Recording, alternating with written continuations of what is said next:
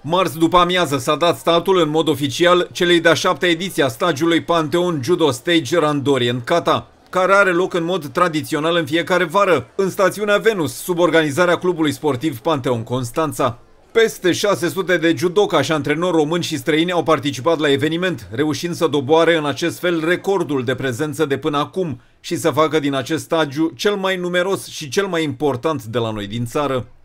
Până la sfârșitul acestei săptămâni, împărțiți pe categorii de vârstă, cu toții se vor pregăti sub îndrumarea celor mai bune antrenori de judo din țară, dar și invitațiilor special veniți să împărtășească din cunoștințele și experiența lor. De departe, dintre aceștia, cea mai importantă personalitate prezentă la Panteon Judo Stage Randori în Kata 2023 este sensei Atio Sacripanti, cel care este cunoscut ca fiind unul dintre părinții moderni ai acestui sport și totodată cel care a introdus biomecanica în judo. Pe lângă el, la stagiu mai este prezentă și Alina Dumitru, singura medaliată olimpică cu aur de la noi din țară, precum și sensei Eiji Kikuchi, care a bifat astfel cea de-a șasea participare la stagiile organizate până în acest moment. Din punct de vedere numeric este o reușită, din punct de vedere a calității judoului și a celor care îl uh, predau, este un stagiu de excelență, un camp foarte, foarte reușit cu antrenori și judoka implicați pe patru etape de pregătire. Cred că este important pentru orice sportiv să, ce puțin la început de activitate agonistică, să aibă această ocazie de a putea discuta, de a putea pune întrebări, de a-și obține răspunsurile de la cei care au fost pe podium și pentru care s-a